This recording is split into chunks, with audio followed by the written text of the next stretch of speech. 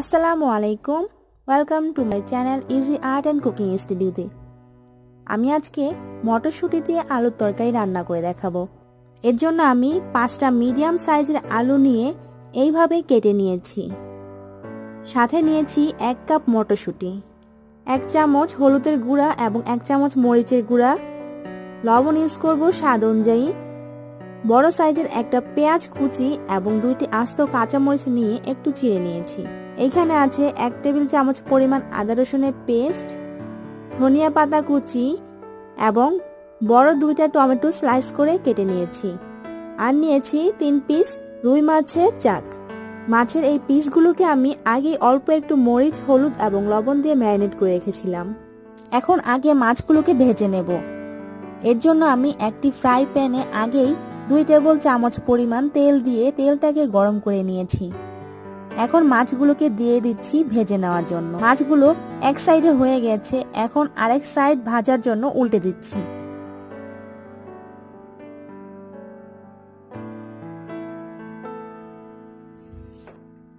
আমার মাছগুলো ভাজা হয়ে গেছে। যেহেতু আমি এই মাছ দিয়ে তরকারি রান্না করব, তাই এই মাছগুলোকে হালকাভাবে ভেজে নিয়েছি, বেশি কড়া করে ভাজিনি। এখন আমি তরকারিটা রান্না করব। এর জন্য চুলায় একটি প্যান বসিয়ে হাফ কাপের মতো তেল দিয়ে দিচ্ছি। তেলটা গরম হয়ে এসেছে, এখন এর মধ্যে পেঁয়াজগুলো দিয়ে দিব। আর পেঁয়াজগুলোকে একটু নেড়চেড়ে ভেজে নেব।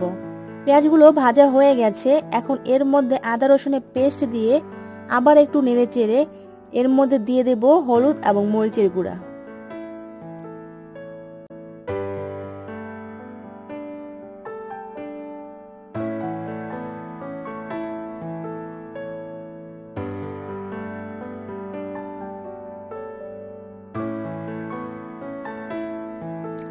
হলুদ এবং মরিচের গুঁড়াটা দেওয়া হয়ে গেছে। এখন একটু পানি দিয়ে এই মশলাগুলোকে ভালোভাবে কষিয়ে নিতে হবে।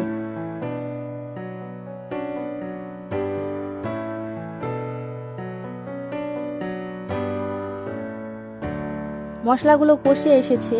এখন এর মধ্যে টমেটো স্লাইসগুলো দিয়ে আবার একটু নেড়ে চেড়ে এর মধ্যে আলুগুলো দিয়ে আবার কিছুক্ষণ নেড়ে চেড়ে কষিয়ে নেব।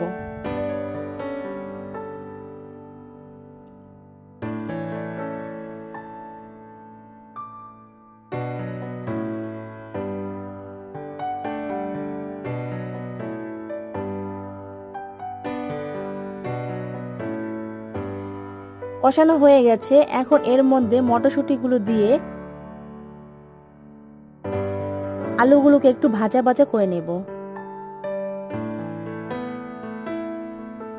আন্দাজ মতো দিয়ে দেব লবণ।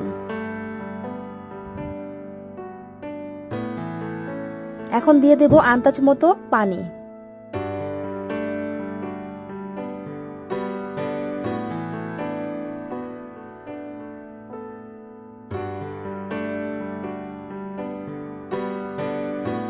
এখন ঢেকে দেব বিশ মিনিটের জন্য।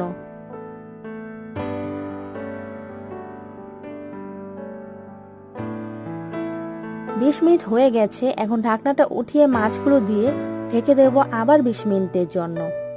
এই সময় চুলা আঁচটা মিডিয়াম থেকে একটু বেশি থাকবে।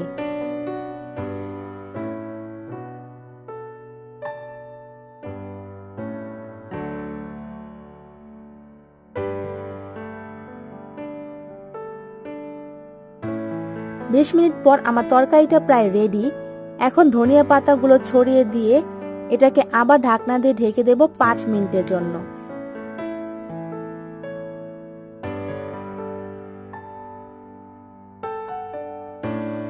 এই পাঁচ মিনিট আমি হাই ফ্লেমে রান্না করে চুলাটা অফ করে আপনাদেরকে ফাইনাল লুক দেখাচ্ছি।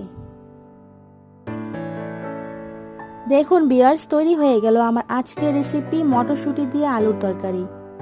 আমি আশা করব আমার রেসিপিটি সকলের কাছে ভালো লাগবে। আজকে তবে এখানেই বিদায় নিচ্ছি। ধন্যবাদ।